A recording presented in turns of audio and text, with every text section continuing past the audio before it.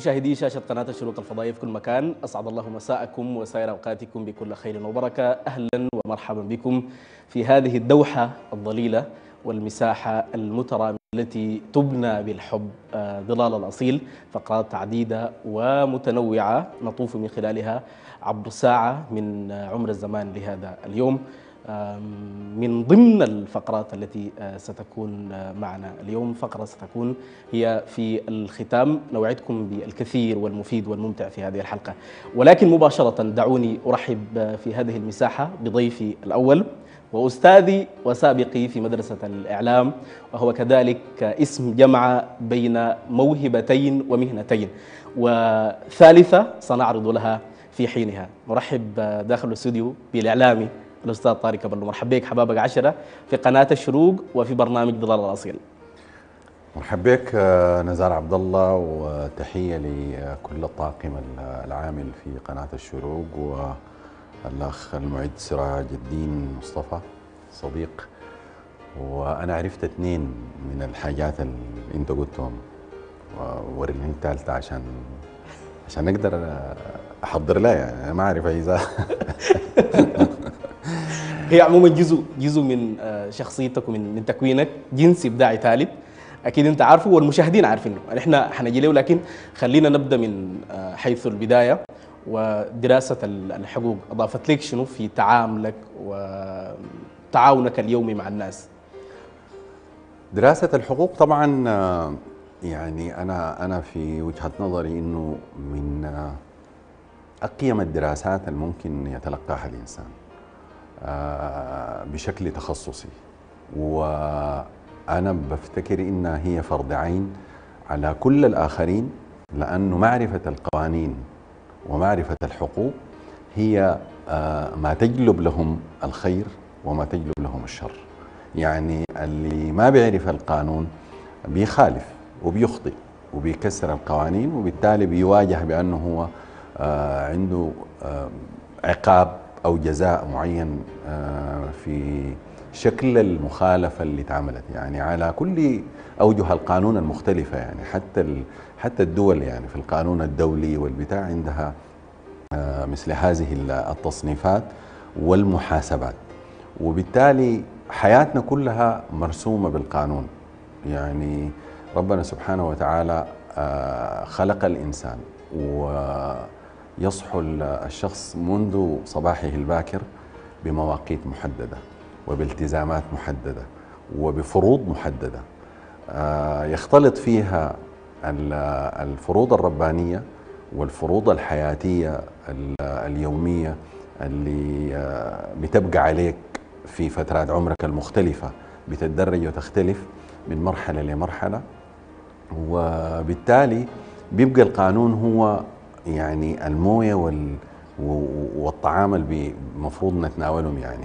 ما بالضرورة ال- التخصص لكن على الأقل إذا أنت مقدم على أي عمل فيه الإطار القانوني بالضرورة إنك تكون عارف التزاماتك وعارف الواجبات اللي عليك.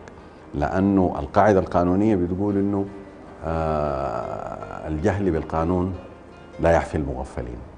يعني المغفلين مش المتخلفين ولا يعني ما نبذة يعني ال- ال- الغافلين يعني. هي أن تغفل على آه، الحرص على حقوقك ده آه، ما بيحفيك عنه القانون يعني. في نقاط مشتركة ما بين الإعلام والقانون؟ الحنك ده؟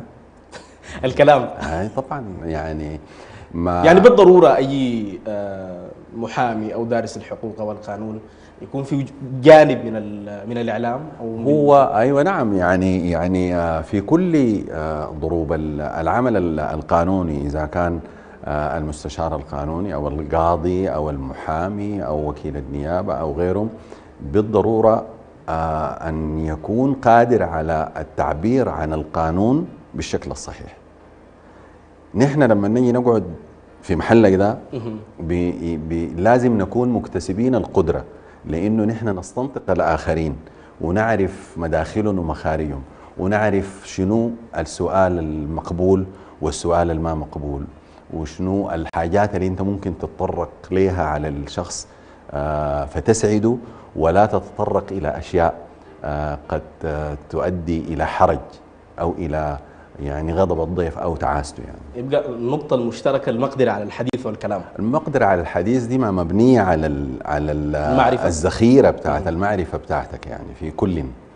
جميل. آه، انتقالا من النقطة اللي ذكرتها هسي اللي بتجمع ما بين ال- القانون والإعلام وهي الذخيرة اللغوية والمعرفة والمقدرة على ال- التحدث. آه، الأسبوع الماضي يمكن آه، كان ذكرى الإمام الصادق المهدي هذا الرجل العلم. اللي كان عنده تأثير كبير جدا على مستوى ال- المجتمع السوداني. ألف ما يقارب المئة كتاب آه، رجل ذاخر بالمعرفة ترك الكثير من الإرث اللي استطاع من خلاله أنه يثري المكتبة السودانية بإصداراته الفكرية والثقافية والكثير. آه، كاميرا الشروق كانت حاضرة في ذلك اليوم. نشاهد ونعود.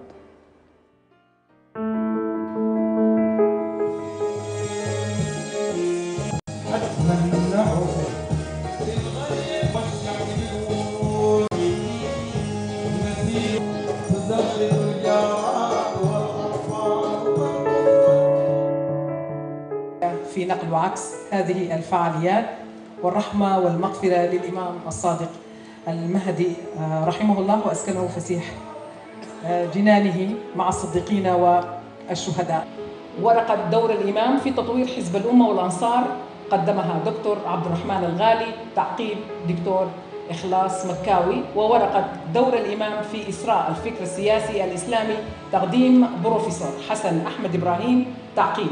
دكتور الأمير عبد المحمود أبو.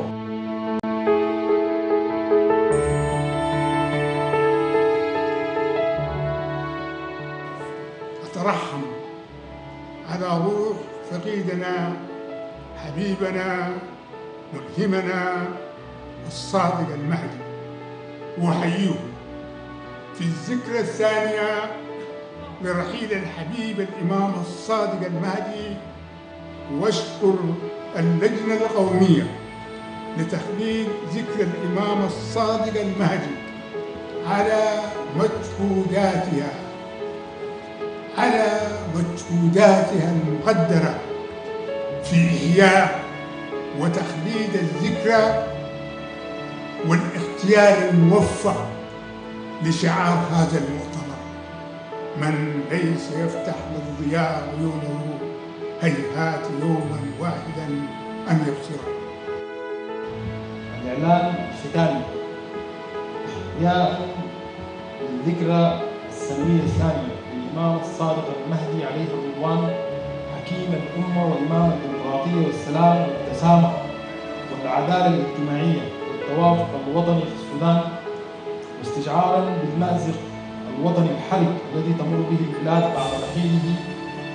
والحاجة الماسة لاستلهام روحه وإرثه في تحقيق العبور التاريخي الذي نادى به لدى تفجر ثورة ديسمبر 2018 الجديدة وتأكيدا على إيمانه العميق بالديمقراطية وجذبه اللامحدود لتجديد أركان ديمقراطية مستدامة مؤقلمة. هل سكر زيادة أم سكر خفيف؟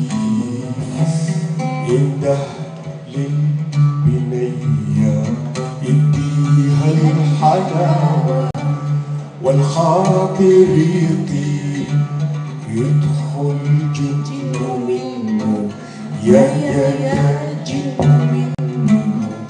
محبوب الشقاوة استنى النصيب.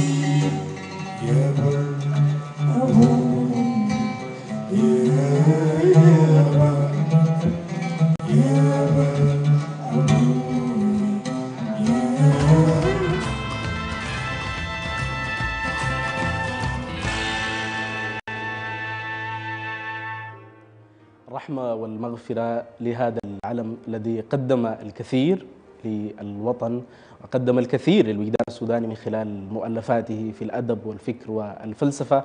أعود وأرحب مجددا بضيفي داخل الاستوديو الأستاذ الإعلامي طارق كبلو. مرحب بك من جديد. ولعلنا فقدنا قبل سنوات هذا الرجل العلم الإمام الصادق المهدي.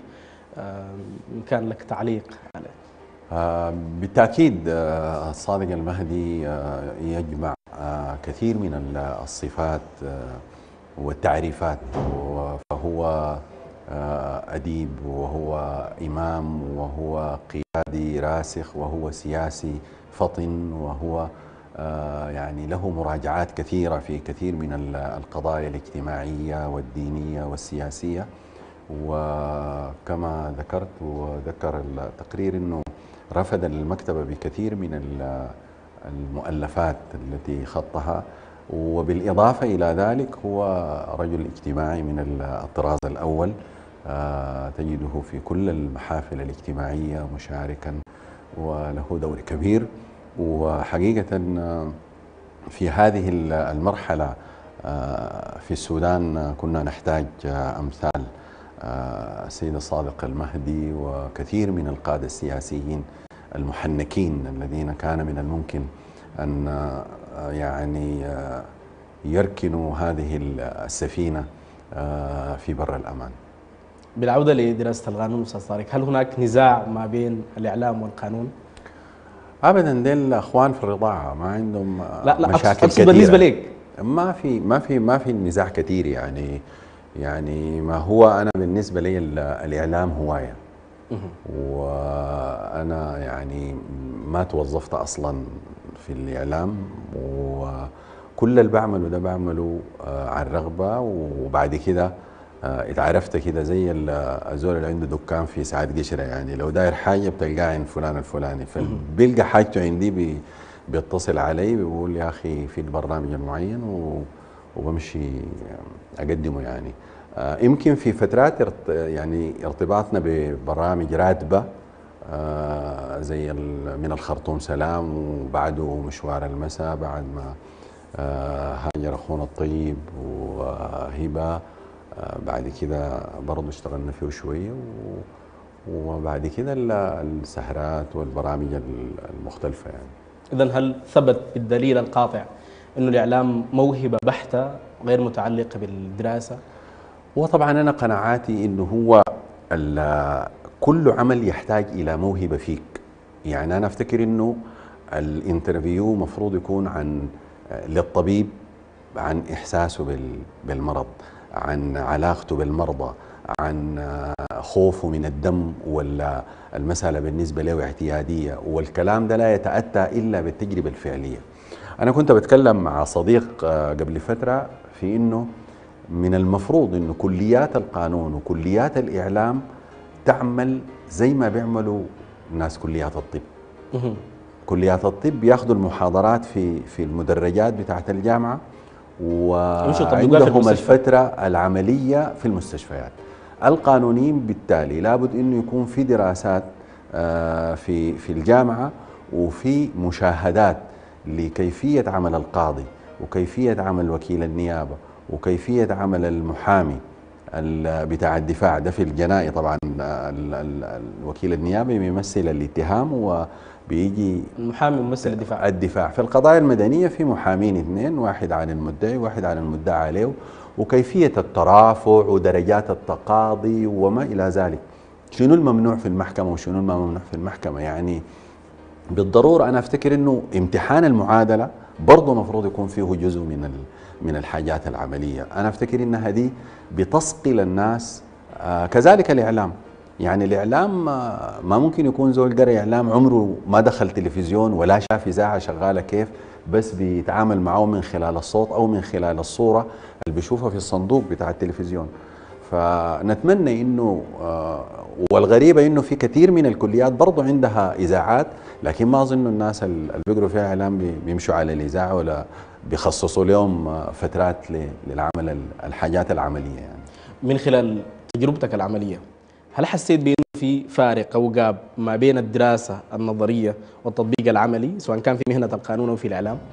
هو طبعا كل الدراسات بتعتمد أساسا على القواعد الأساسية لكل مجال وبتديك آه، زيادة حبتين يعني على الأقل آه، يعني براح كده أنت تستفيد منه وتقدر يعني تقوم وتقوي ال- الموهبة اللي عندك في في العمل المعين ده إذا كان آه، في الطب ولا في القانون ولا في الإعلام ولا في غيره. وبالتالي أنت بتجي بعد كده كل مؤسسة عندها نظمها وعندها طريقة التعامل فيها عندها طريقة القعدة وعندها طريقة اللبس وعندها طر... يعني في حاجات كثيرة جدا. الإذاعات آه برضها عندها طريقة عمل طريقة عمل وعندها نوعية بتاعت عمل. في إذاعة متخصصة في المواضيع الاقتصادية في إذاعة بتاعت منوعات في إذاعة بتاعت رياضة وهكذا. فالجو العام داخل المؤسسة ده مكتسب يعني لكن لو قبيل اشتغلوا بنظريتي دي بيبقى عادي. يتعودوا. بيتعودوا عليه فبيكون ما في رهبة. يعني هسه الآن أنت لو قلت والله أنا فتحت مجال لمقدمين بتاع برامج في الشروق حيجوك الناس مرعوبين. خايفين. أيوه. بعدين الكاميرا دي مرعبة جدا وال... والإضاءة والبتاع. فعايزة آه، يعني حالة من الهدوء عشان على الأقل أنت تقدر آه، تتعامل معاها وتقدر آه، تكون مركز في الحاجة اللي أنت بتعمل فيها. ما مركز مع كاميرا ولا مركز مع إضاءة ولا مركز مع الناس دي اللي عندهم شغلهم براهم بيعرفوا يجيبوك من وين ويجيبوك كيف وكذا يعني.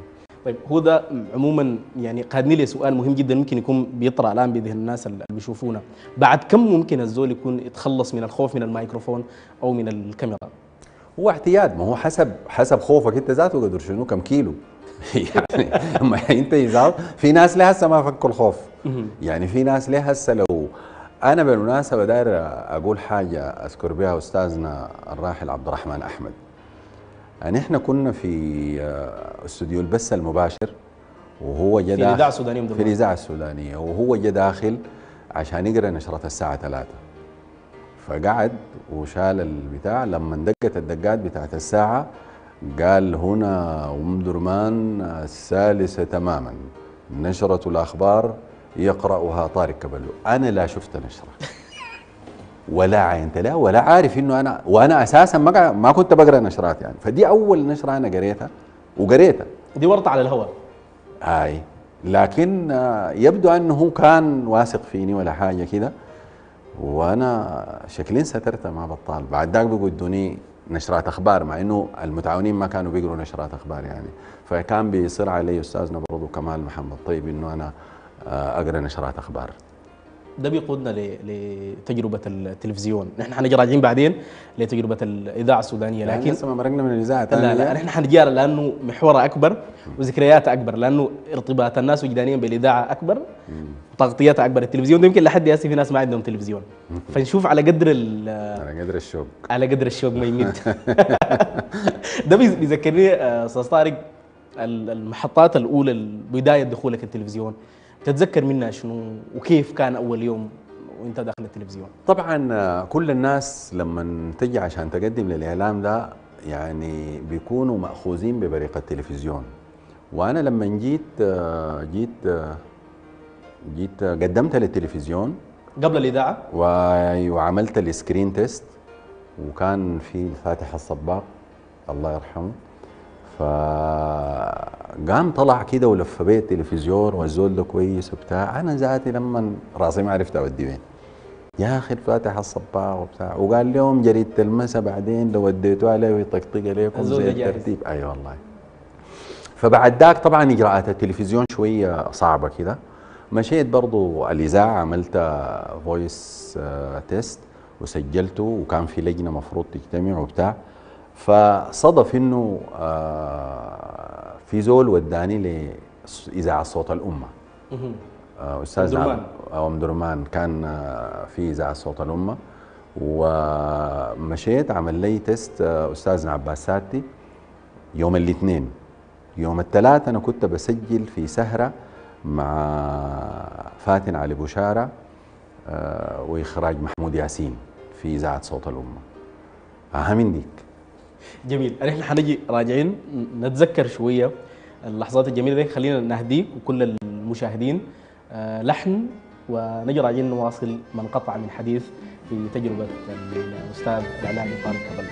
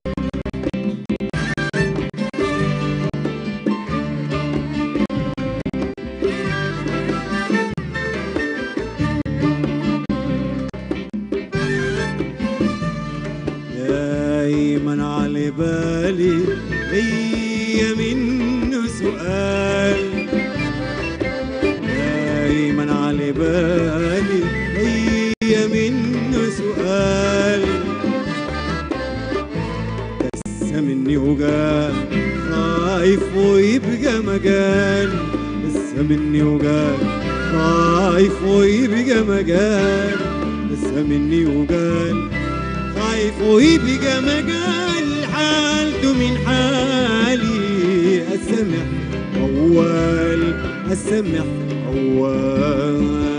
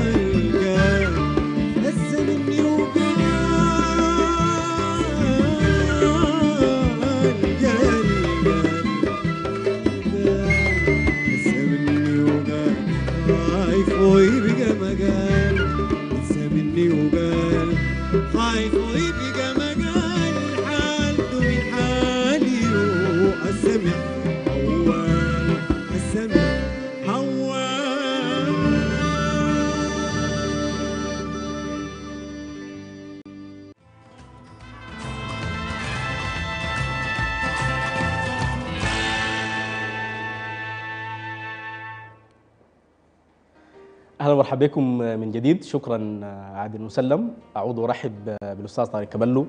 حبابك عشرة. والحاجة الثالثة اللي أنا قبيل قلتها إنه عندك تجربة في الغناء. شفناك غنيت أكثر من من مرة.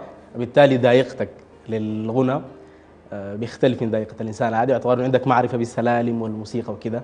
فخلينا نعلق أول حاجة على آه، المحطة اللي فاتت بتاعت عادل مسلم ونحن العصفوره جابت لنا خبر إنه انت من الفنانين اللي بتحبهم جدا. طبعا عادل عادل لأنه يعني من الفنانين المجتهدين ويعني حريص على إنه آه، يقدم أعماله بشكل متكامل. يعني هو زمان كان بيعزف على الكيبورد وكده وبتاع لكن دي كانت بدايات. بعدها عادل مسلم ما في زول بيشوفه إلا يعني إذا كان في القنوات أو كده إلا بفرقة متكاملة وموزع عليها ال- العمل آه، بشكل جيد عادل من الأصوات العميقة وبي بي- يعني بيتناول آه، أغنيات برضها رائعة وجميلة يعني. يعني الخبر جابته العصفوره صحيح تماما؟ اي طبعا يعني أنا أنا ممكن آه، علاقتي بالفنانين غير المحبة من بعيد لبعيد آه، يمكن التقيت كث يعني غالبيتهم يعني و اتخلقت علاقات طيبة يعني مع- معاهم. الفنانين دي الناس رائعين وحساسين وكده والتعامل معاهم تعامل آه، جميل لأنه آه، فيه يعني مش فيه حساسية الحساسية المزعجة ديك اللي بتعمل الكاروشة يعني أي. حساسية راقية. طيب آه نحن شفناك كم مرة غنيت؟ مرة غنيت آه لصلاح حاج سعيد محمد مرغني. ما قلنا ليك ومرة غنيت لعبد المنعم حسيب عيونك كانوا في عيوني. واللي بيقيموا الأصوات انت صوت باص. فكيف قدرت تجمع ما بين الاثنين صوت الباص ال- الإذاعي المحبب وما بين تطويعك لصوت وتغني بيه يعني. والصوت باص ثاني دارين بشنو؟ ما خلاص باص. مش باص ولا باص. ولا, ولا باص. باص. آه والله ما ما أنا أنا بحب محمد مرغني جدا. محمد مرغني بيغني كله. ما بغني باسم. كل محمد مرغني بغني. وبعدين الأغنيات اللي بيغنيها لصلاح حاج سعيد رحمه الله نترحم عليه واللي فقدناه في الأيام الماضية ولكميه من ال ال ال الأشعار الجميلة اللي بيغنيها بيغنيها بإحساس عالي جدا.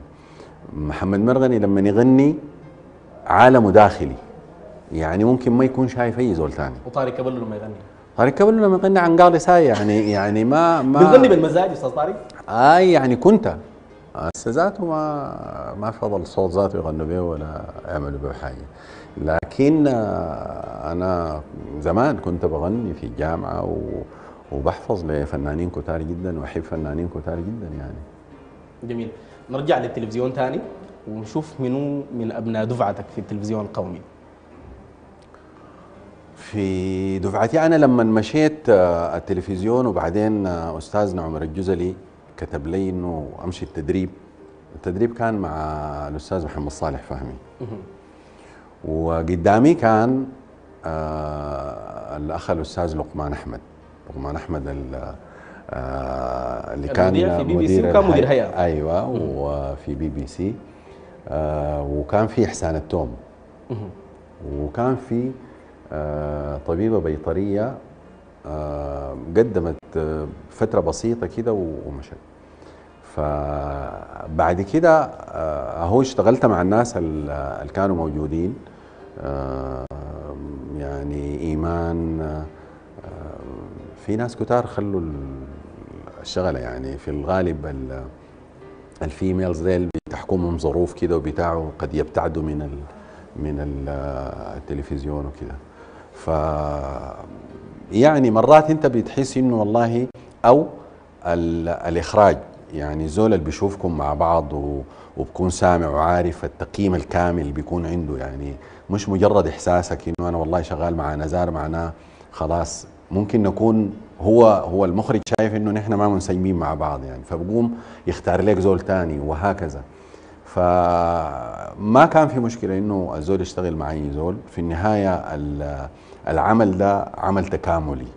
وبعدين أنا ما يعني ما بحب ال- الختيف بتاع الكلام وبتاع أو استحواذ الفرصة إنك أنت تستعرض مهاراتك في الكلام. أنا أساسا ما عندي مهارات عشان أستعرضها لكن يعني كل زول ياخذ فرصته في في الحكاية. فعشان كده هسه أنا حاخذ فرصتي وحأقلب. أنا ما ضيف. أنت الآن مقدم برامج. أنا مقدم برنامج. أنت من وريني أمتع البرامج اللي ممكن تقدمها. يعني آه، برنامج آه، والحوارات. حوار مع زول زي كده ما عارف أي حاجة ولا زول آه، ولا طبيب ولا قانوني ولا ولا سياسي ولا شنو؟ شنو أنواع البرامج اللي بتحب تش- تشتغلها يعني. طبعا أنا في التجربة إحنا الآن نقول 12 سنة تجربة إذاعة. قدمنا خلال التجربة دي عدد من البرامج والأشكال البرامجية المختلفة. منها البرامج الإخبارية البرامج السياسية البرامج الحوارية حوار الشخصية زي حوارنا قبل شوية ده حوار الموضوع منها برامج المنوعات السهرات الإذاعية وكله. لكن ال- البرامج المفضلة البرامج اللي عندها علاقة بالأدب والفنون والثقافة وكده. لأنه ده ميولي في ال- سواء كان في الصحافة الورقية المكتوبة. أيوه. أنا بشتغل في ال- النقد الأدبي. وفي نفس الوقت في البر- البرامج اللي عندها علاقة بالثقافة والفنون والشعر وكده ذواق لموضوع الشعر وال- والموسيقى. كتبت شعر؟ محدد. كتبتها محاولات خجولة. خجولة؟ محاولات خجولة. تخجل من الكاميرا دي هسه خالص. قول لنا بيتين ثلاثة بس. أنا ما داري منك كثير. آه لحد هنا نحن نقلب الحوار. لا ما حنقلب اي حاجة. يعني شوف أنا زول أول زول أنا لقيتك وأنت داخل الحلة دي صح؟ داخل يا تحله حلة. الإعلام دي. مش كده؟ صحيح. هسه برجعك. تسمع الكلام. جميل. أنا آه، يمكن في أبيات اشتهرت. هي الآن موجودة في آه، صناديق آه، ستات الشاي في الركشات في الأماكن العامة. اشتهرت هي كتبتها أنا ويمكن ما في زول عارفها. أوكي. قرأ آه، عدد من الناس اللي بيحبوا الشعر في الأماكن.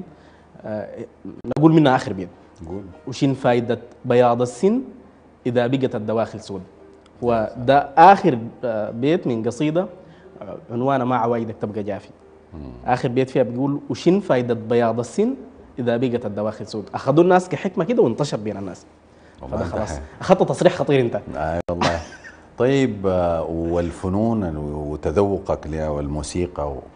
جربت تعزف؟ حاولت؟ حاولت حاولت كيبورد أورجان زمان 2010 الموضوع ماشي كويس لكن بعد ذاك ذقت منه. آي. وبتدنن معه لا دي دي الحاجة الوحيدة اللي تعتبر جريمة بشعة. موضوع الغنى ده.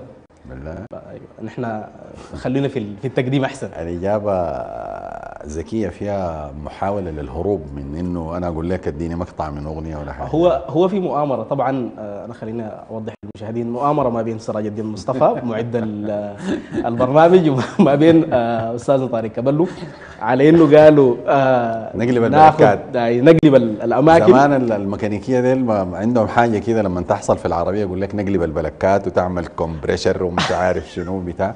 فهسه قلبنا البلكات خلي العربية تمشي. خلاص قلبناها ونرجع. عشان لأنه لو قلبت ال- البلك أكثر من كده العربية حتقيف ما حتستمر حيحصل عطل.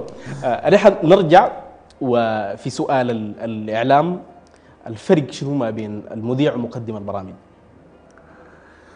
المذيع ومقدم البرامج. مقدم البرامج ممكن يكون آه، أي زول عنده القدرة آه، على آه، تقديم نمط معين من البرامج. يعني يعني ممكن يكون شاعر آه، بيقدم برنامج شعري. ممكن يكون آه، قانوني بيقدم برنامج قانوني. إذا امتلك ال- القدرة على التقديم ممكن يكون آه، اي في ناس كتار طبعا. يعني آه، مثلا دكتور آه، أبو عبيدة المجذوب كان بيقدم برنامج طبي. هو ما مذيع فهو مقدم برنامج. أستاذ محمد عبد الله الرياح. محمد عبد الله الريح آه، قدم من طبيعة الأشياء. من طبيعة الأشياء. يعني أمثلة كثيرة جدا. يعني في النهاية أنت بتجي تقدم برنامج واحد أنت عندك الخلفية آه، عن كل أشياء وبعد ذاك قادر على أنك أنت كل حلقة تقدم آه، نمط معين يعني من من من ال- الفكرة اللي أنت جاي للبرنامج كل مرة بي- بيطور البرنامج شوية. قانونيين برضه آه كثير من كان عندك تجربة في آه، تقديم البرامج المتخصصة؟ قدمت برنامج لسنوات طويلة جدا في الإذاعة السودانية عن الناس القانون. الناس والقانون نعم. آه، ده خليه ينقلنا لسؤال الإذاعة السودانية. ليه دائما الناس مرتبطين بالإذاعة السودانية؟ تحديدا الناس اللي يشتغلوا في حوش الإذاعة والتلفزيون وفي الإذاعة. لأنه الإذاعة السودانية هي الإذاعة السودانية. زمان الناس دي كلها لا تقول لي ساعه ساعة سويسرية ولا ساعة آه، سودانية. أول ما تدق دقات الساعة أي زول بيضبط الزمن بتاعه على إذاعة ام درمان الانضباط ومرات انت لما تجي داخل الحوش بتاع الإذاعة بتحس إنه ده تزيد في الحاجات لكن هم في النهاية يعصروا الزول كده لحد ما يطلعوا الحاجة الكويسة عنده. وممكن تلقى زول يعني كل يوم بيجي الإذاعة لكن يشتغل بعد سنة. لما يشوفوا فيه الحاجة اللي ممكن يقدر يعملها عشان كده آه زمنه بطول يعني لحد ما يشوفوا الحاجة اللي ممكن هو تكون مناسبة له عشان يقدمها وعشان ينجح فيها. فأنا أفتكر إنه الإذاعة السودانية هي مؤسسة النجاح وبعدين ال- التنوع الكبير. وبعد ذاك أضيفت لها خدمات إذاعية كثيرة جدا. آه، ده كله يعني آه، رفض المجال الإعلامي بمجموعة من ال- الفنيين ومجموعة من معدي البرامج ومعدين ومقدمي البرامج وكده يعني. فهي مدرسة طبعا لا يستطيع أحد إنكار دوره في في رفض الحياة الإعلامية. حتى التلفزيون ذاته يتأسس من الاذاعه جميل. ده جانب آه، قليل من الإذاعة السودانية وهو تشكيل الوجدان السوداني يعني الزول المستمع البسيط آه، بيضبط ساعته على مواعيد الإذاعة السودانية بيسمع الأخبار من الإذاعة تكوينه ال- ال- العاطفي والاجتماعي من خلال ما تقدمه الإذاعة من برامج تثقيفه سواء كان قانوني آه، طبي أو غيره من خلال البرامج التي تبث على ام درمان لكن نتكلم عن الارتباط الشخصي الوجداني. يعني الآن لو جينا تكلمنا عن تجربة طارق كبلو وقلنا لك اتكلم عنها بصورة يعني من غير ما اخذ لها ضوابط محددة أنا متأكد حيكون جزء كبير للإذاعة مع إنه عندك تجربة تلفزيونية. فليه ليه الإذاعة احتلت جزء كبير جدا من تكوينك الوجداني؟ أول حاجة إذاعة أنت بتمشي لها الصباح لو أنت عندك جنيه واحد يوصلك الإذاعة بتفطر وتتغدى. وإذا قعدت لحد بالليل بتتعشى. وبعد ده بتركب ترحيل بيوصلك أهلك. يعني أنت ما بتصرف أي حاجة. الحاجة الثانية إذاعة بتشوف فيها عبد الله الطيب بتشوف فيها عبد الكريم الكابلي بتشوف فيها فراج الطيب. بتشوف فيها محمد الأمين ووردي وزيدان وخليل إسماعيل وتشوف فيها آه عوض صديق وتشوف فيها كمية من وطبعا ناس المسرح ديل أصلا جيران يعني الباب آه البيت مقاصد البيت زي ما الحيشان الثلاثة. والحيشان الثلاثة والتلفزيون يعني تشوف الجزلي والصباغ ومحمد طاهر والدنيا دي كلها وفي كل مكان في مناسبة والمجتمع الإذاعي مجتمع مترابط جدا لو حصلت أي حاجة عربات الترحيل دي كلها بتمشي للزول اللي حصلت له الحاجة. فدي ده مجتمع مجتمع فيه من ال- ال- الترابط والتعاون الإنساني عجيب. يعني ما بتحتاج يعني أنا متأكد إنه أي حتى مناسباتنا الاجتماعية بيقوموا بها ال- الناس اللي في الإذاعة. زملاء. بالضبط كده. يعني أنت ما بتكون عارف أي حاجة لكن بتلقاهم هم تولوا كل الأشياء عنك. فأنا أفتكر إنه مجتمع صحي. أنا أتمنى إنه يعود هذا الإحساس للإذاعة والهيئة بشكل متكامل. الهيئة إذاعة وتلفزيون ويظل هذا التواصل لأنه ده أفتكر إنه جزء من الإبداع. يعني أنت ما لو لو جاتك موجود في الإذاعة مرتاح. لو جاتك فكرة برنامج لو ساكت مشيت الحوش بتلقى الزول المناسب للبرنامج ده وممكن تجيبه تدخله يعني مش استسهال لكن وفرة. وفرة في الناس. هسه أنت لو داير زول تضرب له ويجيك من سقط لقط. احتمال يتأخر كمان يطشش عليك القصة. جميل. طيب بما إنه عندك تجربتين في الإذاعة وفي التلفزيون خلينا نشوف الفوارق ما بين مذيع الإذاعة ومذيع التلفزيون. في راحة طبعا في العمل الإذاعي باعتبار إنك أنت قاعد وكده أي أنا شا أنا أنا أنا حاسي إنه الناس شايفاني. وحاسي إنه الناس بترسم في صورة الزول اللي ما شافوه في التلفزيون يعني. مؤكد كل المذيعين اللي مروا عبر الإذاعة ديل كل زول كان بيحبهم وبتابعهم راسم لهم شكل من الأشكال. وبيتخيل إن هم بيتصرفوا كيف وبيتكلموا كيف وبيضحكوا كيف وحاجة زي دي. وأنا أفتكر انها دي حاجة ممتعة. مرات آه، لما بدينا في الإذاعة وبتاع لما يجي زول يسلم عليك وسط ناس ما بيعرفوك ولا بتاع بالله ده أنت ومش عارف إيه وبتاع. مستغرب شكلك فالدهشة آه يعني آه إنه ده فلان الفلاني وك- وكده يعني. فكانت حاجات جميلة. زمان الناس كانت مهتمة بالحاجات دي كلها يعني. وبتحسسك انك أنت زول كويس. وتقول يا أخوانا بالله عليك الله لقيت قيمه للحاجه اللي بتقدمها ده بيقودنا أستاذ طارق لسؤال مهم جدا وهو إنه كثير من العاملين في العمل الإذاعي بيفتكروا إنه فكرة الإذاعة المصورة كتلت الخيال الموجود في الإذاعة وكانوا ضد فكرة إنه الإذاعة تبقى مصورة. الآن في موجة كده على إنه الإذاعات تبقى مصورة والناس تماشوا مع التقدم التكنولوجي.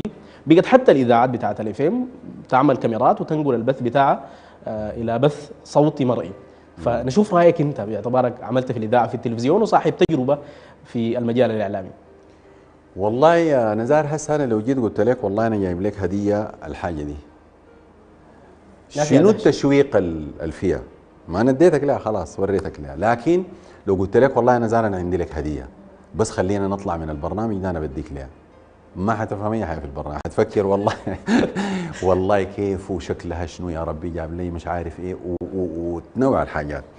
لما تسمع الحاجة في الإذاعة الخدمة الإذاعية وظفت كل الظروف الممكن تخلي لك الخيال بتاعك ده قريب للحاجة. يعني ممكن تجي شوف النقلات الموسيقية. والمؤثرات الصوتية المستخدمة في الإذاعة بتنقل لك المناخ العام بتاع الموضوع. بعد ده تخطه في أي مكان. خدته في الاستوديو ده خدته في حلتكم في البلد خدته في الحلة في آه، أي حتة في أوضتك جوا بتلقى إنك أنت عندك يعني براح كده بتاع تخيل للأشياء. وأنا أفتكر إنه ده معين للبني آدم ذاته إنه هو يتصور الأشياء. صدقت ولا خابت؟ هو ما داخل في امتحان.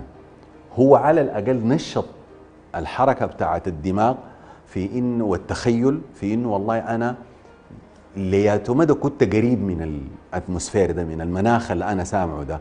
الحلة دي اللي بيمثلوا فيها الناس. المسلسلات دي بالمناسبة الناس رحلت معاها حلال كثيره جدا. وهي كانت في صندوق. وتخيلتها. حقنا ده يعني. وتخيلتها. وبعدين تجي مطره وكبسيبة ورعدة وبتاع لما الرادي ذاته ينط. تحس إنه خلاص أنت ذاتك اتبلبلت. فالاذاعه فيها التشويق والإمتاع والبتاع وده كله من من خيالك أنت يعني. لكن الحاجة الجاهزه خلاص يعني ما حاجة جاهزة أهو. خلينا نختم معاك بسؤال واحد. آه، ثاني سؤال والختام بداية. بسؤال والختام بسؤال. آخر سؤال. آه، طيب. برنامج مميز في تجربتك التلفزيونية وما زال في ذاكرتك. والله أنا أفتكر إنه من من الانحياز لطارق اليمين وطارق الشمال الناس والقانون. أنا أفتكر إنه الناس والقانون قدم آه، خدمة قانونية آه، كبيرة جدا واستمر لسنوات طويلة جدا. وما كان يميز هذا البرنامج إنه زي اللي غايم معاك ده يعني ما فيه المادة آه، 135 ولا المادة 20 ولا البتاع من قانون المش عارف إيه ما في كلام زي ده. يعني الكلام كله ونسة بيني وبين زميل من المحامين وبنقدم المادة وبنوري أبعاد الحكاية بنشرح القصة آه، ببساطة شديدة جدا. فأفتكر إنه هو جمع بين رغبتين أنا حققتهم في في برنامج واحد. لكن كثير من البرامج الحقيقة أنا أنا عملتها برضها أفتكر إنها برضها كويسة يعني. نحن شاكرين لك كتر خيرك. والله كتر خيركم أنتوا كتر خير الشروق وإن شاء الله نلتقي في مساحات أفضل إن شاء الله. إن شاء الله. شاكرين للاستاذ الإعلامي طارق كبلو. آه هذه المساحة التوثيقية